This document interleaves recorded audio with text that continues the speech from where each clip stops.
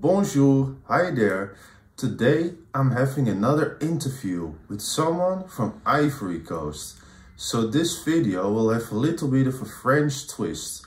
Hope you'll enjoy it and let's get into the interview with Nancy.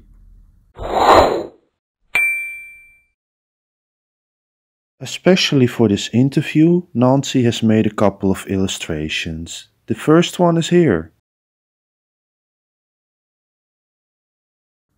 So, Nancy, please tell me, what is illustration like in Ivory Coast and or France? Pour la première question, j'avais déjà commencé à répondre euh, par un message privé sur Instagram. Mais du coup, je disais en fait que la plupart des gens en fait pensent que les illustrations c'est pour les enfants. Et pour eux en fait, dessin ça équivaut à enfant. Et heureusement que de nos jours, ça a vraiment tendance à changer les mentalités. Plus de personnes se rendent compte que en fait l'illustration c'est pas que pour les enfants, c'est pour tout le monde en fait. Et ça me fait assez plaisir.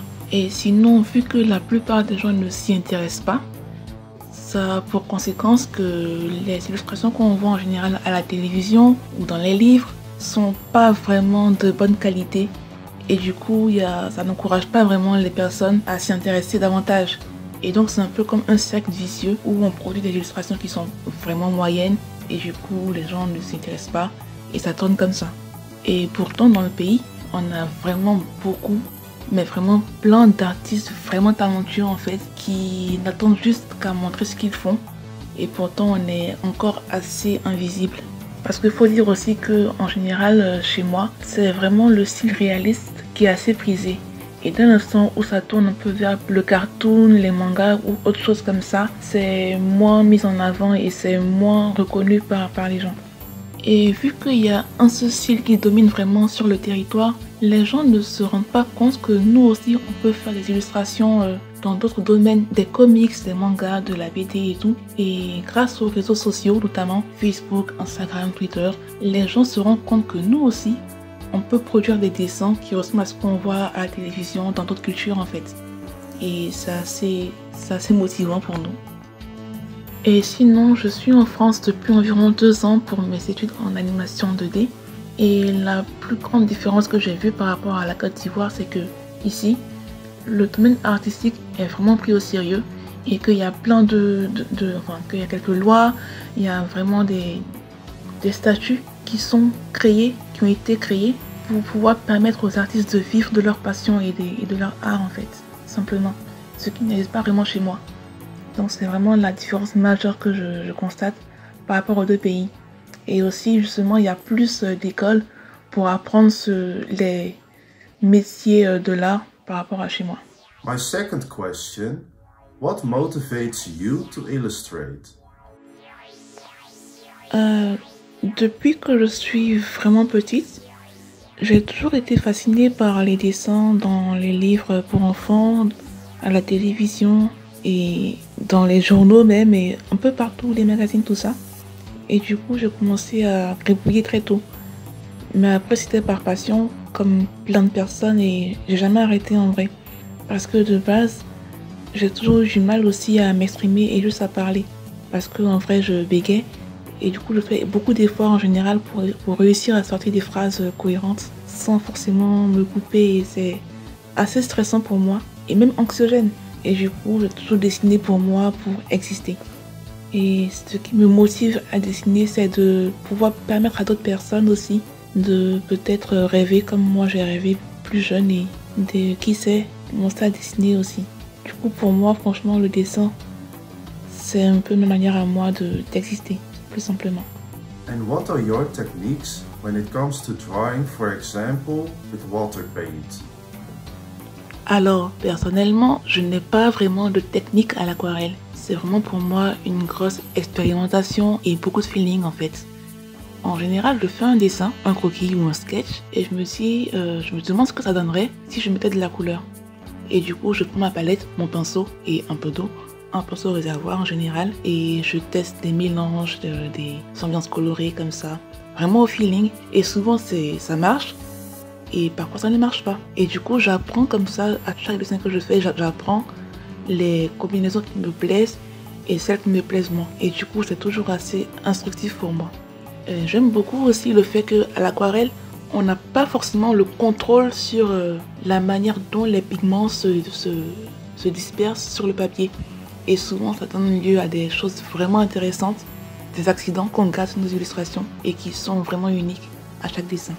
Do you feel like people understand the value of illustrations? Est-ce que les gens comprennent la valeur de mes illustrations? En tant qu'artiste, que ce soit illustrateur, euh, animateur ou tout autre artiste, je pense que c'est la question qui revient le plus, la question euh, qu'on se pose le plus parce qu'en général, on doit vendre nos œuvres et le plus dur c'est de mettre un prix parce que pour nous, ça représente tellement de temps, de travail euh, invisible les gens ne savent pas combien on investit dans un dessin. Les nuits blanches qu'on peut y passer, les douleurs au dos qu'on essaie d'oublier parce qu'on aime ce qu'on fait, les douleurs au poignet, tout ça. C'est assez voilà et en fait quand tu donnes le prix de tes œuvres en général il y en a qui trouvent ça trop cher parce qu'ils ne comprennent pas forcément ce que ça demande comme ressources euh, pour être réalisé et c'est toujours un peu frustrant mais après euh, je pense qu'il y a beaucoup de personnes aussi qui savent ce que ça représente et qui n'hésitent pas à demander euh, comment ça se passe et à apprendre de nous pour ne pas faire une erreur avec les autres pour la prochaine fois. Et en tant qu'artiste, nous sommes vraiment les personnes les plus dures avec nous-mêmes. On a tendance à se sous-évaluer en général, à trouver que ce qu'on fait n'est pas assez bien. Genre, je prends mon cas, je passe beaucoup de temps à me remettre en question sur ce que je fais, à comment évoluer. Et ce sont les autres qui me disent que ce que je fais est vraiment bien et qui me donne la force de, de voir que ce que je fais est pas si nul, entre guillemets, parce que voilà, je ne vois beaucoup les erreurs de ce que je fais et il faut aussi apprendre à voir les qualités et pas que les erreurs. Do the characters that you draw always have a story? En général, je ne pense pas vraiment à une histoire pour mes personnages. C'est vraiment beaucoup de feeling encore une fois et je m'assois juste devant mon carnet et je me demande juste ce qui irait bien aux formes que je fais euh, à l'instant présent sur le papier. Quel genre de forme j'aimerais faire aujourd'hui? Une coiffure plus ronde, triangulaire, une forme euh, plus fine euh, ou plus large, voilà. Mais c'est vraiment du cas par cas des choix qui se font sur l'instant présent que je ne prévois pas à l'avance. Après, pour l'école, je dois apprendre à créer des histoires pour raconter des choses, pour animer, mais là, c'est une autre histoire. Do you believe that anyone can draw if they want to?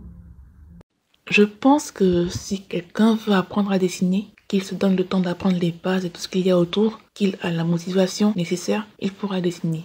Le chemin est tellement long et difficile que, en général, ça décourage beaucoup de personnes. Et franchement, je pense qu'il faut avoir un mental assez fort aussi pour ne pas se décourager lorsqu'on ne progresse pas assez et se dire que le meilleur est à venir.